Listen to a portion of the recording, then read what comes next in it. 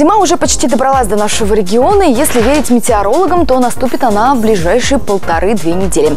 Если у вас нет и верхней одежды, то пора о ней задуматься. Конечно, несомненный лидер любого зимнего сезона – шуба или же удлиненная меховая жилетка. Конечно же, если вы автолюбитель. Ну а теперь самое главное – определиться с фасоном мехового изделия, которое вы планируете приобрести. Об этом сегодня и поговорим в программе «Страна советов».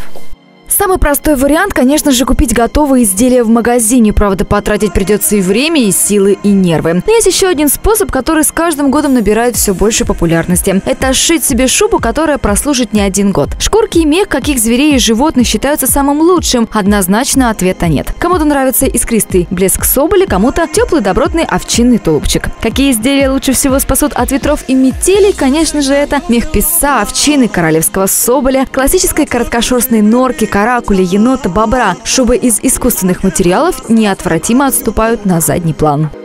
В этом сезоне приветствуется меховое разнообразие. Вы можете сшить шубу из кого угодно. Из норки, соболя, лисы, чернобурки, бобра и даже ламы. Самое главное, определитесь, какое количество средств вы готовы потратить на будущую шубку.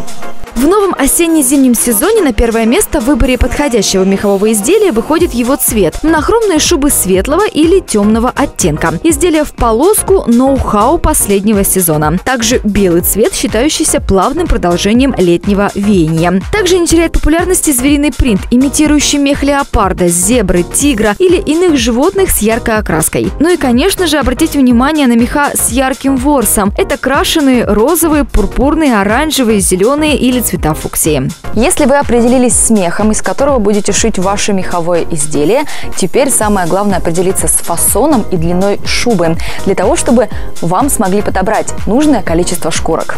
Технология пошива шубы – это целая история. Для того, чтобы определить необходимое количество шкурок, модельером изготавливается лекало по выбранной вами модели вашему размеру и проводится подсчет. Работа почти ювелирная, так что постарайтесь определиться с моделью сразу же. Шкурки подбираются по их фактуре, оттенку и плотности подшерстка. Нюансов при пошиве шубы масса. Главное, ищите проверенное ателье, чтобы в дальнейшем можно было смело хвастаться стильной и эксклюзивной шубкой.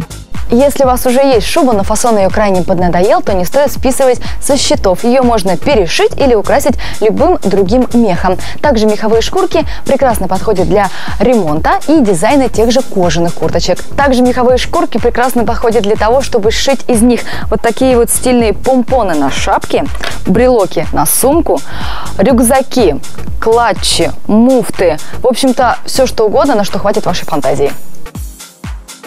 Если вы не знаете, кому доверить пошив шубы, тогда приходите в галерею меха. Здесь вас ждет весь спектр услуг от подборки меха до пошива изделия любой сложности. Для покупателей большой ассортимент норки различных натуральных цветов и всевозможных видов покраски. Меха песца, лисы, шкурки кролика рекса, бобра, соболя и ламы, пошив верхней одежды и главных уборов, а также их ремонт. Швейная фурнитура для пошива в ассортименте, только качественные изделия по демократичным ценам. Галерея меха, Октябрьский проспект 125, второй этаж, офис 205. 5.